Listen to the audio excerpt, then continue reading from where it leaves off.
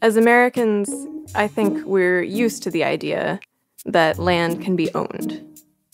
Whether it's a beachfront or, say, a stream bed. And if you own the land, you can, just for example, build on it, or sell its water rights, or you can keep other people from ever accessing it. We just accept it as the way that things naturally work. Like a lot of our laws, we inherited this way of looking at land ownership from England. When I went there, I found that a growing group of people are thinking about ownership of land and access to land very differently than Americans are. And they're thinking that while property might belong to somebody, it doesn't mean other people shouldn't be able to walk on it or picnic or camp on it. It's a vision of land and the outdoors that's so radically different from ours that I had to go see it for myself. My name is Brooke Jarvis, and I'm a contributing writer to the New York Times Magazine. This week's Sunday Read is about a group of English activists who are pushing for more rights to explore England's natural spaces. One way these activists do this is through mass trespasses, which are actually a kind of protest that dates back more than a century. They're pushing for something that a lot of other European countries already have a right to roam. I went to England this past spring, where I joined two of these events. One was at the Kinder Reservoir in the Peak District near Manchester. It lies underneath a tall plateau of moorland called Kinder Scout, which is where one of the most famous trespasses of the 1930s happened. The activist planned to take a dip in the water as a form of protest to show that people needed more access to open water swimming.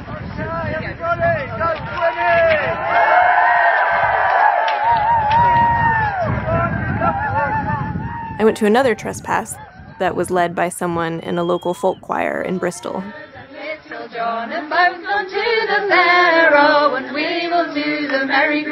To hunt the buck and. We headed out to this very old castle that has been in the same family since shortly after the Norman conquest and walked around the fields and grounds. We stopped in a little patch of woodlands along the way and sang songs together.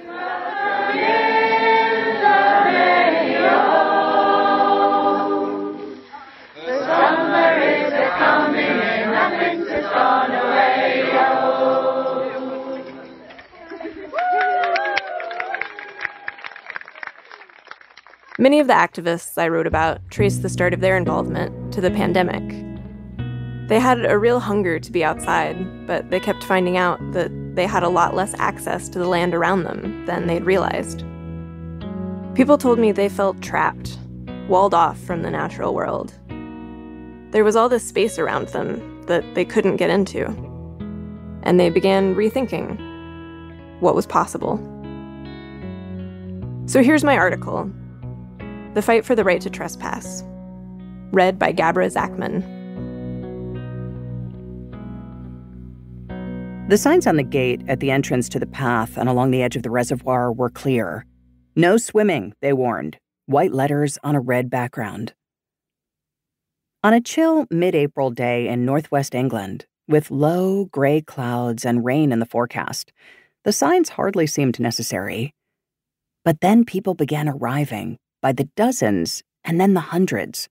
Some walked only from nearby Hayfield, while others came by train or bus or foot from many hours away. In a long trailing line, they tramped up the hill beside the dam and around the shore of the reservoir, slipping in mud and jumping over puddles. Above them rose a long, curving hill of open moorland, its heather still winter brown. When they came to a gap between a stone wall and a metal fence, they squeezed through it, one by one, slipping under strings of barbed wire toward the water below. On the steep grassy bank above the reservoir, coats and sweaters came off, revealing wetsuits and swimsuits. Thermoses of tea and hot chocolate were readied for quick access. Someone had brought along a banged up trumpet with which to provide the appropriate fanfare. There were seasoned winter swimmers, people who had stories of breaking through ice for a dip, and complete newbies, deciding as they shivered whether this particular symbolic act was really for them. There was a seven year old who swam in a knit beanie with a purple pom pom, and a man with a Yorkshire accent who told his wife, in mock horror, I had to ask a strange woman to zip me up, Mary. Down on the shore, giggling and shrieking people picked their way across slippery rocks.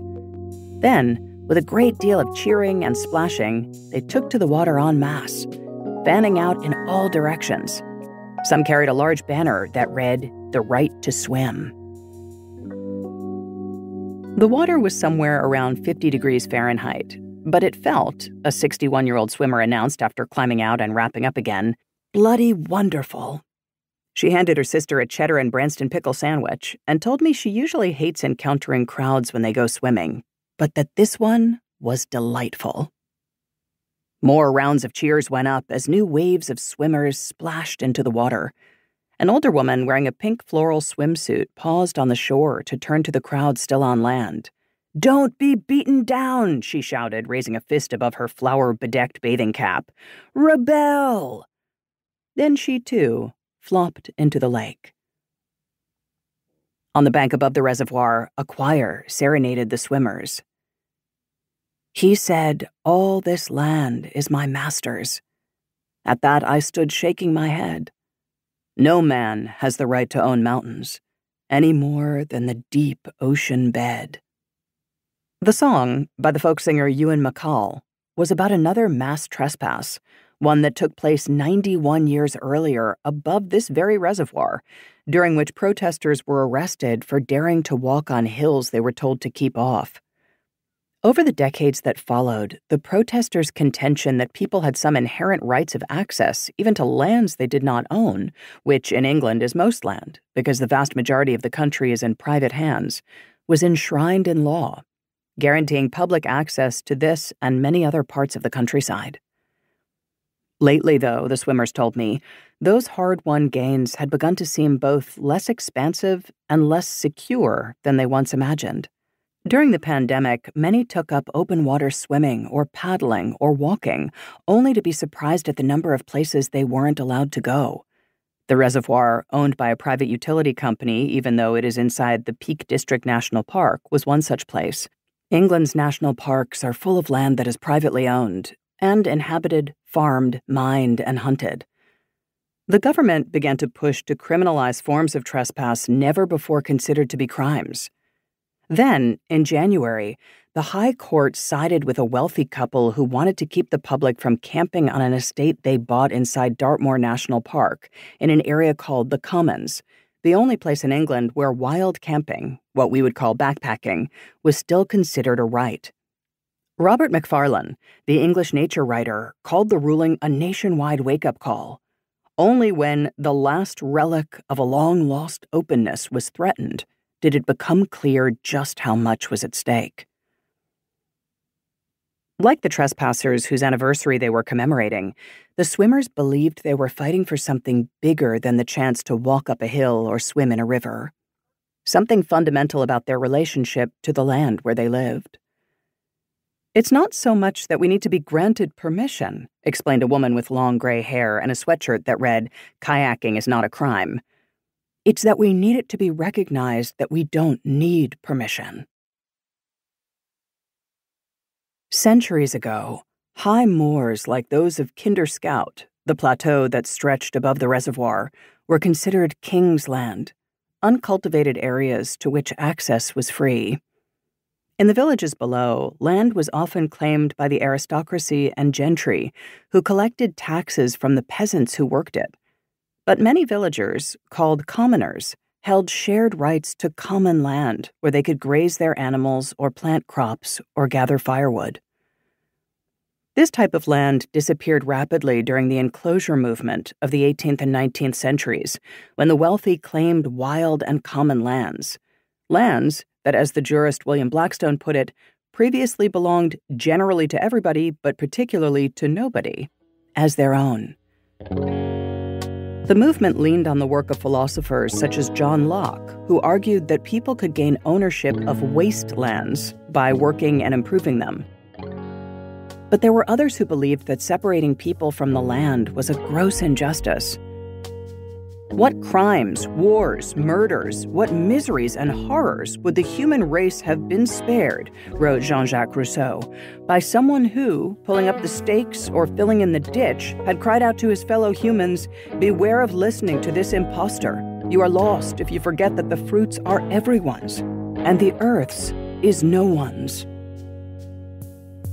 As enclosures spread, many former users of the land were pushed out.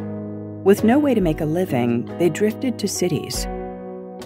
Kinder is not far from Manchester and Sheffield, two early centers of the Industrial Revolution, whose residents liked to escape the choking air by going on long walks in the countryside.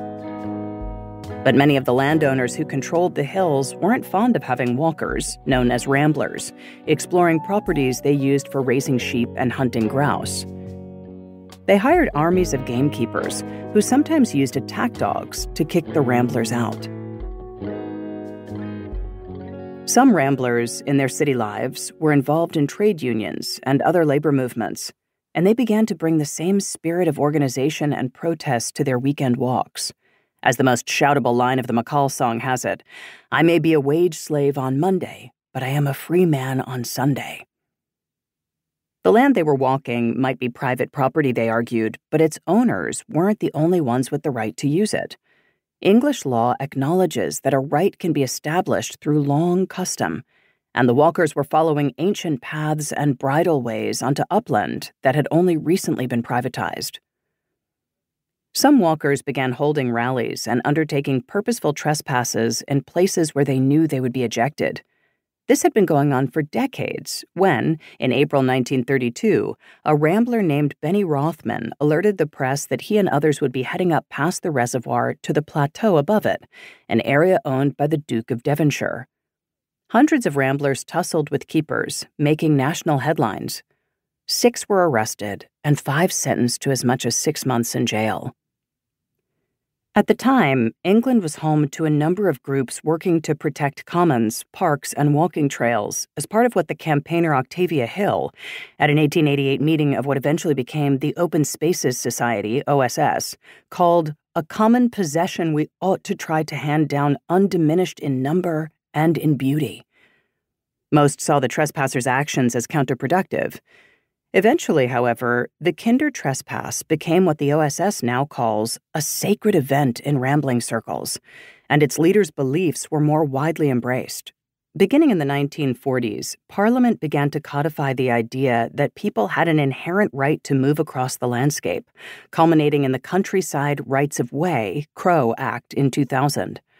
The act recognized the right not only to use designated paths, but also to roam freely on certain mountains, moors, heaths, and downs mapped as open country, or on land registered as common. In 2009, the Marine and Coastal Access Act designated the shore as access land as well and promised an additional 2,700 miles of coastal footpaths. Today, there are about 140,000 miles of legally protected paths in England, and the countryside is full of signs marking public footpaths or rights of way. I found them leading past fields of rapeseed or sheep, along a creek that flowed behind the walls of private gardens, through woods to a country pub. The first time I encountered such a sign, it marked a charming little trail leading over a brook at the end of the lane where I was staying in Little Hayfield. I had other plans for the morning and only meant to take a tiny walk, but suddenly I couldn't help myself. Having grown up in rural Tennessee, where the no trespassing signs were so ubiquitous as to hardly be necessary, I was overcome by the mere fact of permission. Here was a path, to who knew where, on which I was decidedly welcome. Not just welcome, in fact, but entitled. It would have felt almost disrespectful to ignore it. To an American, traversing the land in rural England can feel a bit like looking in a funhouse mirror, a system just different enough that it forces you to see your own expectations in a new way. Some of the people I met in England had heard that the United States has a lot of public land, which is true. But access to it depends a lot on where you live. Nearly all federal land is in just 11 western states and Alaska, And even there, the courts are still working out what public really means. Mulling, for example, when anglers are allowed to walk on public stream beds that run through private property, or whether hunters can cross private airspace by using a ladder to get from one checkerboard square of public land to another. Others had heard that the United States is a warren of private lands, governed by threatening signs and stand your ground laws. The week of the swim trespass, the news back home was full of stories of people being shot after accidentally driving up the wrong driveway or knocking on the wrong door. Kate Rew, the founder of England's Outdoor Swimming Society, remembered with shock when she arrived at the Pacific, eager to swim, but couldn't find a beach that wasn't private property. Another activist, Owen Heyman, told some friends he was visiting in Montana that he was headed out for a walk and was surprised when they replied that they would first need to drive him somewhere. A farmer I met in Gloucestershire, who thought the English already had plenty of access to his land, nonetheless seemed to sympathize with my plight as an American. You can't go anywhere, can you? After following that first right of way sign, I stumbled on a spring full of plump tadpoles and followed a red striped bumblebee from flower to flower. I thought about how nice the word ramble was, how it evoked wandering and whimsy and openness instead of the determined point to point rush of the American hike.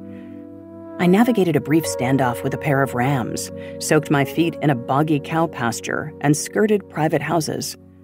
One resident nodded politely from behind a sign Please respect our privacy.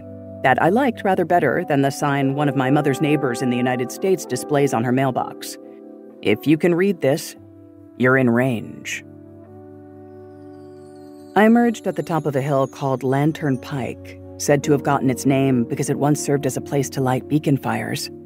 In one direction, I could see the buildings of Manchester, and in the other, the long brown line of Kinder Scout, notched in the middle where a waterfall tumbles down. Below it were fields of bright green pasture squared in by dark stone walls.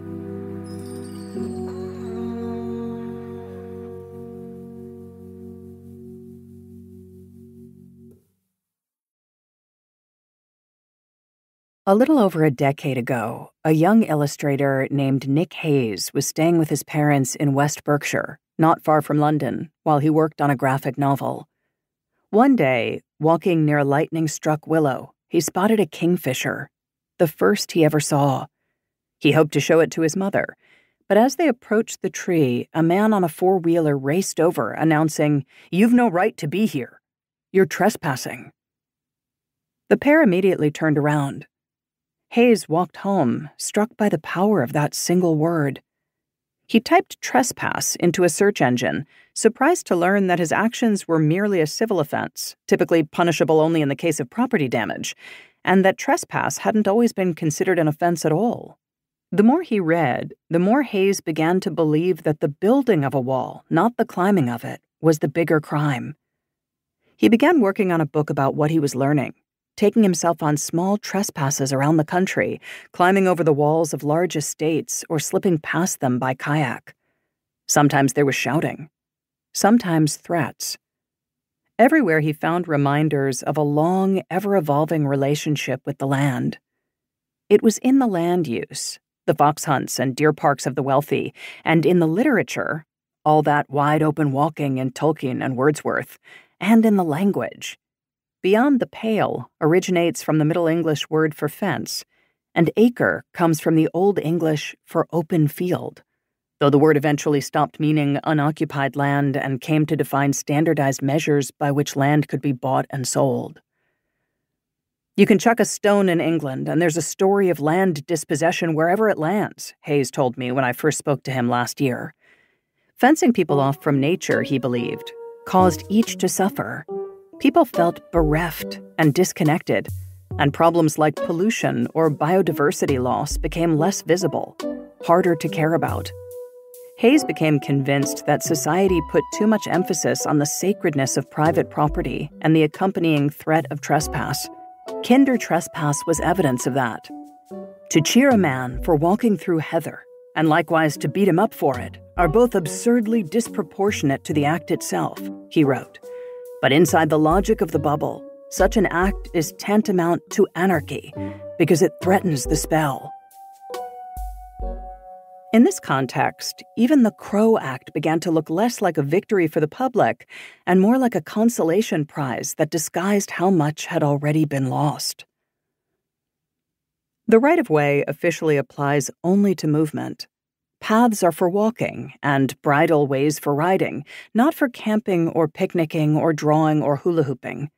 Paths and access land are concentrated in the least populated rural regions and are scarce where most people live. Many protected areas are difficult to navigate. People who spend time in the countryside rely on detailed maps from the government to figure out where they are or aren't allowed to walk. Echoing their military heritage, they're called OS, or Ordnance Survey maps. Some places offer no real access because they are islands floating in a sea of private property.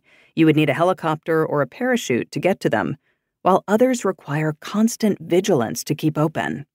In one famous case, a company associated with the tycoon Nicholas Van Hoogstraten, who was known for his involvement in the killing of a business rival and once referred to ramblers as scum of the earth, erected buildings and fences that blocked a protected right of way in East Sussex.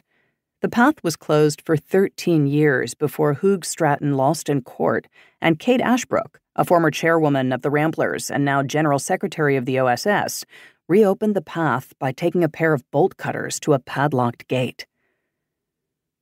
The Crow Act was also time limited. There is likely less than a decade left during which new access paths can be certified. But the process for adding them is Byzantine. To certify a right of way, you have to prove that you've never asked a landowner for permission to walk there, which turns a right into a retractable handout, that you have used it for at least 20 years and accepted stand in for proof that a right has been earned by virtue of being exercised since time immemorial, a period which, because of quirks of English law, officially ended with the death of Henry II in 1189, and that you and others have used the path openly without your right to do so being challenged. Open access land cannot have been improved by agriculture, proof of which often requires expensive certifications by botanists. This can lead to absurdity, says Ashbrook, who likes to walk up a hill near her house in the Chilterns. It looks the same all over, but because of what Ashbrook described as botanical issues of great detail, only one side qualified as access land, open for rambling. The other is closed. To Hayes, it seemed as if all these technicalities undercut the rights that the Crow Act was supposed to enshrine. They made clear that the rules about who owned what and who could go where were cultural and historical artifacts, not laws of nature. They were just choices. Another approach was visible just across the border. In 2003, the Scottish Parliament passed a land reform bill that recognized the uncontested right to walk, camp, cycle, swim, canoe, and perform any other form of non motorized exploration throughout the country. Known as the right to roam, it came with a code of responsibilities. Access didn't apply to private gardens immediately around houses or to fields in active cultivation, and people were expected to clean up their litter and dog poop to cook on stoves instead of open fires, to avoid rock climbing near nesting birds, to close gates behind them, and so on. But it was clear and direct, and not even unique to Scotland. Similar systems had long been in place in other European countries, including Finland, Norway, Iceland, Austria, Latvia, Estonia, Lithuania, the Czech Republic, and Switzerland. In some cases, the right was considered so old and so fundamental so obvious that for a long time no one bothered to codify it. In Sweden, the tourism board developed an ad campaign around the allure of what the country calls allemansrätten, or every man's right. It's a right protected by the law that allows me to sleep and eat and walk pretty much wherever I want, the voiceover explains. Now you can too. As Hayes began researching land ownership, he came across the work of Guy Shrubsole, an environmental campaigner who, in an effort to find out who owned the land whose management practices he was worried about, had spent years filing records requests and poring over maps, writing a blog and later a book called Who Owns England? In answering the question, Shrubsole painted a stark picture of inequality and secrecy only 5% of the country was owned by ordinary householders. Large chunks were held by corporations and by the aristocracy and gentry, often following boundaries that were relics of the land divisions and gifts made after the Norman conquest in 1066. The land registry does not track land using these categories. A few thousand dukes, baronets, and country squires own far more land than all of Middle England put together, Shrubsole wrote. He cited a remark by the late Duke of Westminster, who advised aspiring entrepreneurs in Britain to make sure they have an ancestor who was a very close friend of William the Conqueror. If you wanted to know how much of England's land offered no right of access, even to ramblers, even after the Crow Act, the answer was 92%. Property, Shrubsole told me, isn't really a thing. It's a bundle of rights. A series of possible actions that are associated with tracts of land, but that can be severed, bought, sold, and expanded or curtailed by the specific legal codes that govern that land. This was why you hear people speak of mineral rights, or surface rights, or water rights, or commoners' rights, or treaty rights, which in the United States often include ongoing rights to fish, hunt, and gather on land that tribes no longer control. Part of that bundle of rights in England for the last several hundred years has been the right to exclude other people from your land, Shrubsole says. The thing is, that's not always the case in every country, and even in other liberal capitalist democracies. England had exported its view of private property to much of the world, but it also had its own long history of resistance to privatization. Notable examples include the Diggers, who seized a hill in Surrey in 1649, planting crops and declaring to the gentry, The earth was not made purposely for you, to be lords of it, and we to be your slaves, servants, and beggars, but it was made to be a common livelihood of all. Sure, you can have private property, Shrubsole says, but does it always have to be on such extreme terms that you can't share it with anyone else? In late 2019, the Conservative Party was elected in a landslide and proposed charging unpermitted campers with criminal trespass. Hayes and Shrubsole started a petition opposing the idea. It received enough signatures to trigger a debate in Parliament, but the bill continued to move forward. Shrubsole remembers sitting with Hayes around a kitchen table in London, wondering what to do next, how to convince their country that access to the land was a right worth fighting for. Shortly afterward, COVID hit. Lockdowns were strict in England, where illicit parties were enough to eventually bring down a once popular prime minister. Indoor gathering places shut down, and outdoor exercise, which was allowed only once a day and only in the area where a person lived, became precious. Catherine Flitcroft of the British Mountaineering Council told me that across the country, the outdoors became the new pub and the new playground, a lifeline for people who felt trapped and alone. But many soon found that a frustrating amount of the countryside was closed off to them.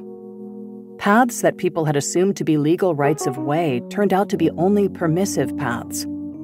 Landowners, overwhelmed by the surge of eager walkers, some of whom left large messes behind, could and did revoke access. Swimmers, canoers, climbers, and kayakers struggled to understand where they were allowed to go because many landowners maintained that ownership of a lakefront or riverbed included a right to exclude people from their section of water. Though it was illegal to block public paths with gates or fences, or to hide signs designating them as such, or put up new ones threatening dangerous dogs or bulls, would be walkers told me that they encountered all of this. And community leaders from marginalized groups pointed out that many barriers to access were invisible People were often dissuaded from rambling at all because they had good reason to fear the outcome if they ended up somewhere they weren't allowed to be. During that first COVID summer, Hayes's account of his explorations, The Book of Trespass, was released. The book argued that the hard won public paths, in enshrining some rights, forestalled others. They simultaneously legitimized the space that is off limits.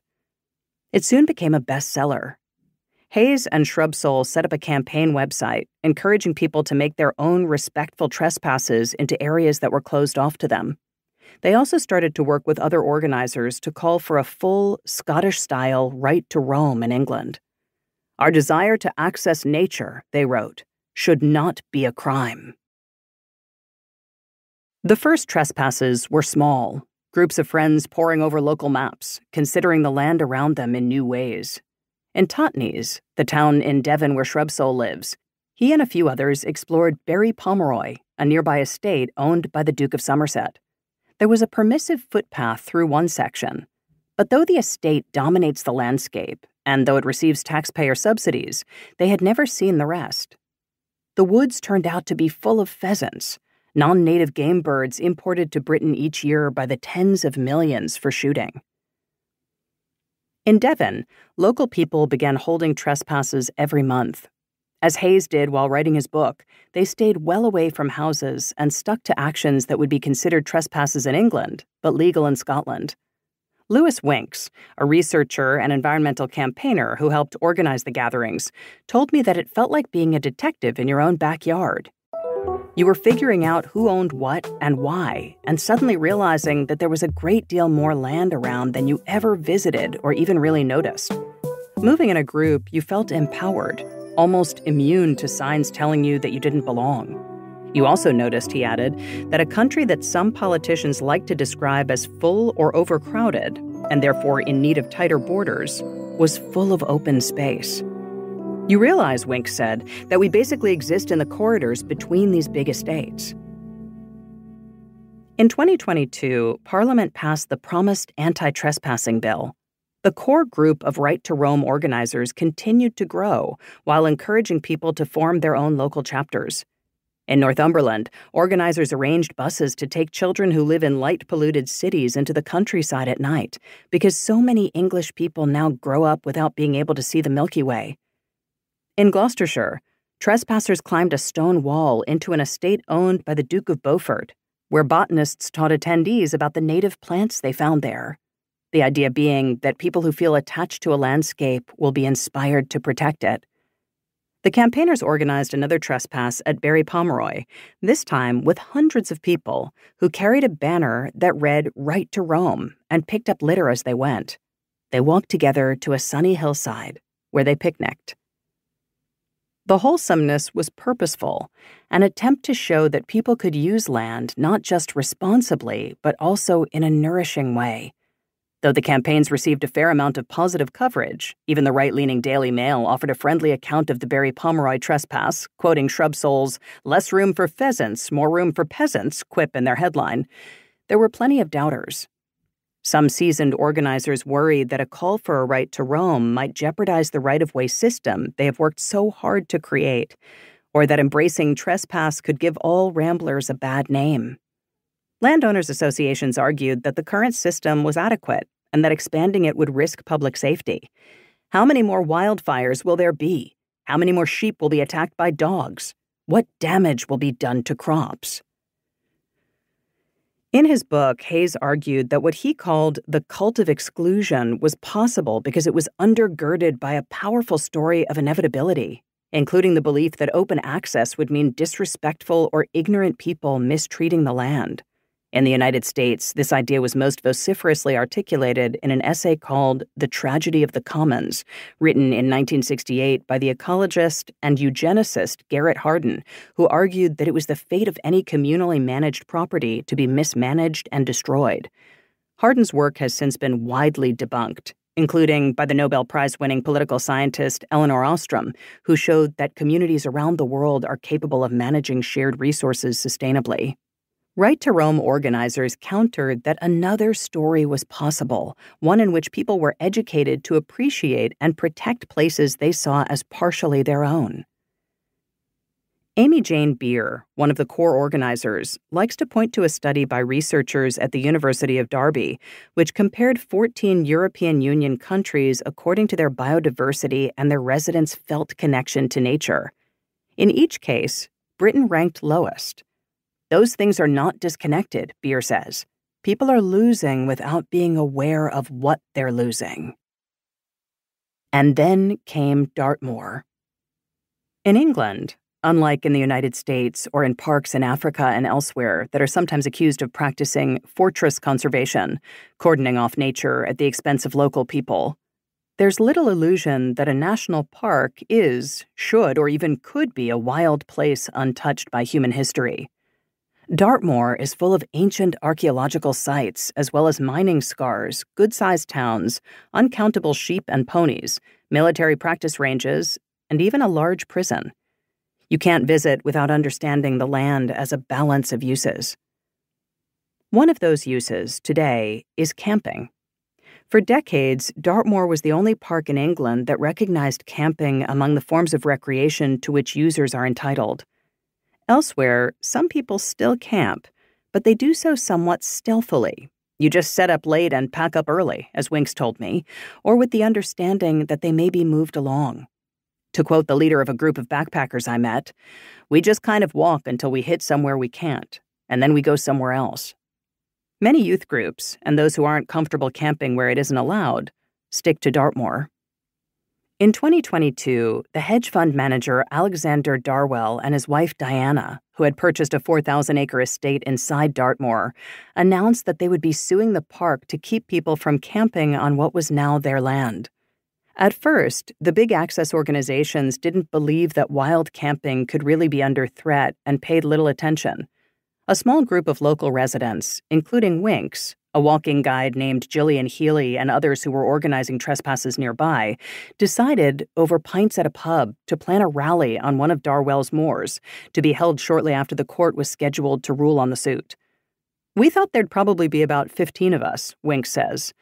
But no matter which way the decision went, they figured they would either want to celebrate or protest. They came up with a name for their group The Stars Are for Everyone. A week before the planned gathering, in January 2023, the Chancellor of the High Court ruled that the long assumed right to camp in Dartmoor didn't actually exist. Darwall, and any other landowner who wanted to, could kick campers out right away. Suddenly, thousands of people wanted to join the protest, which was set to depart from Cornwood, a tiny village clustered around narrow lanes on the edge of the park. Organizers rented 10 buses to shuttle the protesters in, to help feed everyone, residents of the village baked pasties and delivered them to the local pub. A parade of people set off on a two mile walk to Darwall's land, using a right of way flanked on either side by private security guards holding dogs. It was, said one participant, a conga line of humanity. Many people told Healy that they weren't campers themselves, but that they saw the decision as part of a much bigger story about their country and where they fit inside it.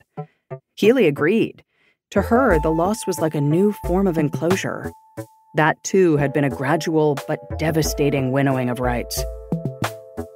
When the crowd arrived at the top of the hill, organizers were waiting with a surprise.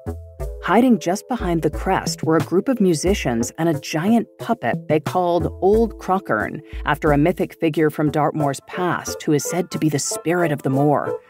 In one story, he warns a rich man who has come to plow the land with a steam engine if you scratch my back, I'll scratch out your pockets. When the puppet crested the hill into the slanting winter sunshine, crowds of children ran toward it, dancing. The Dartmoor National Park Authority appealed the ruling.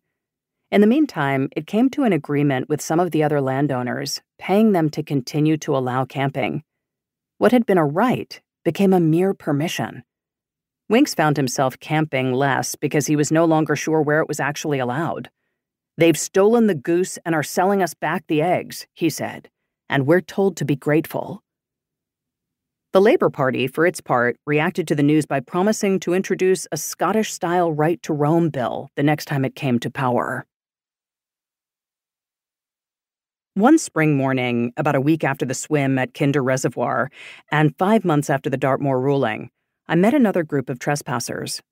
This time, they gathered on the village green of a tiny place called Ham, under the branches of a blooming horse chestnut tree. Most of the 70 or so people who arrived for the walk came from Bristol, 20 miles away, home to a particularly active group of right to roam advocates who meet twice a month and go on outings that members take turns designing. On this day, the walk leader was Jim Rosinski, a member of a local choir who brought along some of his choirmates. Rosinski said that the Book of Trespass moved him to act because it was just so reasonable. Before setting out, he warned the group to watch out for sharp branch related jeopardy and to take care with where they place their feet. We want to show that we can care for the land that we're walking on. The group set off down a narrow lane crossed a bridge, and passed a field where horses grazed. A large stone castle appeared in the distance. A woman named Mary Stevens, who had read Who Owns England, told those gathered that it was still owned by the same family to whom the land was granted in the aftermath of the Norman conquest. They were also given considerable land in Bristol, where, many of the walkers told me, they could not afford to buy houses, including in the neighborhood where the choir practices. The long trail of people wound through fields and into a tiny scrap of woodland where the choir leader, Sorrel Wild, led the group in an old chant Put your roots down, put your feet on the ground. You can hear the earth sing if you listen, we sang, until the words lost their cheesiness and began to feel profound and peaceful. It took ages to enter another glen because there were so many people stepping so cautiously over the bluebells. As they walked, people told me what had brought them to spend their bank holiday Monday trespassing around a castle with strangers. Many spoke about wanting more access to nature, but they also framed the walk in grander terms. Maria Fernandez Garcia, a botanist who had become a leader of the group, said it was a balm to hear other people's deep and similar feelings about the ways the country wasn't working for ordinary people and how it could do better. Danny Bala listed a series of things that he wished were seen as commons, to be shared and stewarded, but which were instead enclosed, privatized, and exploited. Gathering places in cities, the air, the water, the climate. A mother of two young children told me that as a renter, struggling amid Britain's cost of living crisis, it would be very easy to feel that I had very little power. But trespasses like this helped. The more of them she went on, the more illusory the borders that constrained her life felt. It's an antidote to everything feeling divided and enclosed, she said. A woman named Holly Marjoram told me that while walking is often a solitary activity, this version made it feel like part of something large and powerful, connected to a whole world of people who would fight for the land. She had also been to the big trespass at Berry Pomeroy and the protest on Dartmoor. A few months later, in mid July, the Royal Courts of Justice would hear the park's challenge to the ruling that favored the Darwalls. Inside the court, the two sides debated what the park's bylaws meant by allowing open air recreation. Was a tent open air? Are you recreating when you're asleep? While protesters filled the sidewalk outside. A ruling is still pending. In Ham, after the trespass, the group stopped in a churchyard for lunch where more thermoses of tea emerged from backpacks. It's nice to imagine a world where we can walk farther and feel freer, said a woman in tall rubber boots. And then it was back to the village green, where some people taught a folk dance, some drifted off to the pub next door, and some sang along to a final song. Ours is a wild and beautiful land, much unknown to us. We are the land, and the land is us. Another group arrived late and dripping, having been lured into the cool river by the first hot day of spring. People kept asking Rosinski which parts of the walk were trespasses and which parts were within their rights. It had been hard for them to tell.